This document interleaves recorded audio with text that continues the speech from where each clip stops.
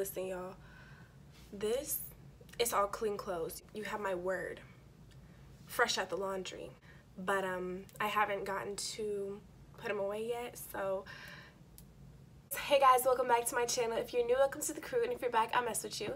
I haven't done that intro in a minute, especially in my few recent videos that have been getting a little bit more attention. If you didn't know, that's what I use to start off every single video. Well, not every single video, but today we're to be doing some cute hairstyles for transitioning hair. If you don't know what that is, you're lucky. Second of all, transitioning hair is basically, you know, hair that you know you're transitioning toward being natural and you know your overall hair goal which is just getting your hair as healthy as it can be so i guess you can say we're all kind of transitioning but this is targeted towards people who have heat or color damage um, people who are growing out their perms or relaxers. So yeah, you're gonna have some parts that you kind of want to conceal and hide and I'll be working with you guys for a few of my favorite styles because if you didn't know, I have heat damage. So, so much heat damage. Yes. Turn up. It's fine. We're okay. Okay guys, so this style is so, so, so cute. How to take the glasses off. I'm to take my hair out of this nasty, nasty little bun and take a rat tail comb and I'm to do a deep side part.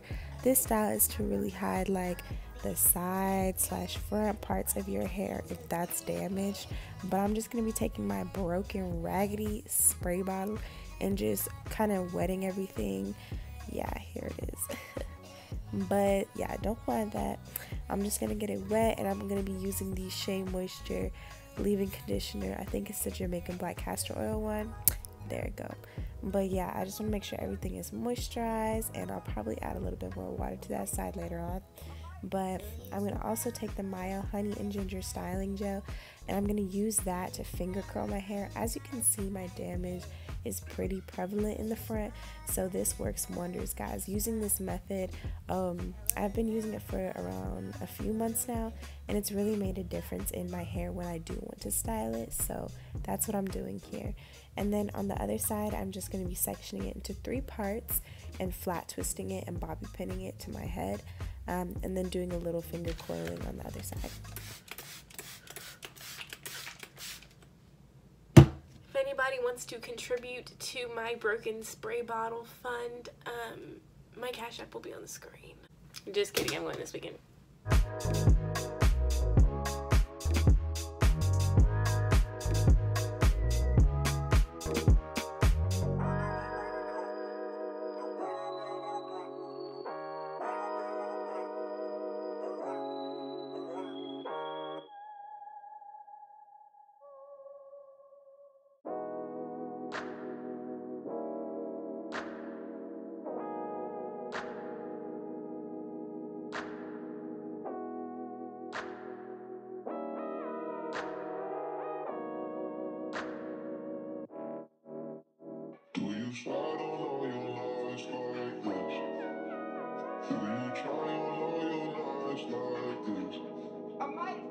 Some spotlight on this life.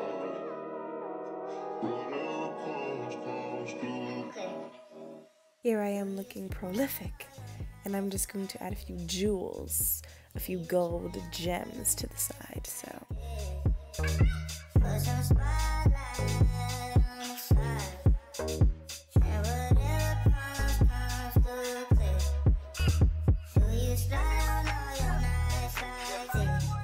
This style is for lazy girls only. I'm literally just throwing my hair into a side ponytail and just giving that a lot of volume with my hands, just fluffing it out.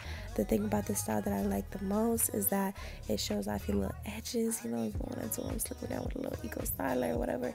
And then I had two pieces in the front that were already finger curled.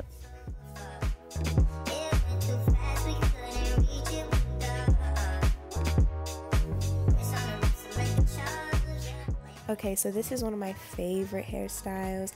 As a person with heat damaged hair, I wasn't able to do this for a long time, but I found kind of a trick.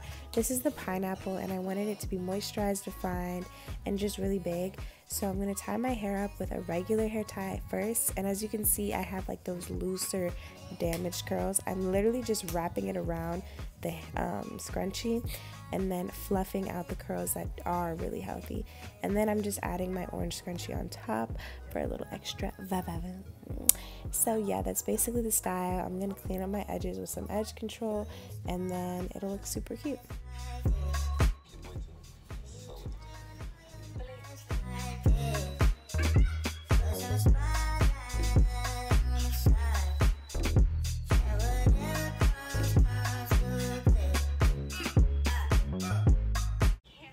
Okay, so for this hairstyle, it's super simple, and I honestly could have done this 10 times better, but whatever.